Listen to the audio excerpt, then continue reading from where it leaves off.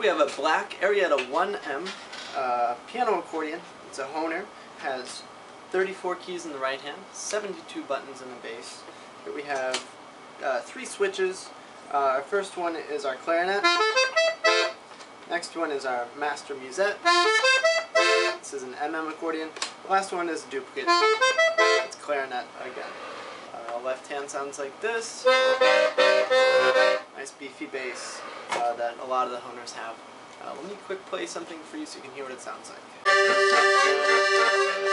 like.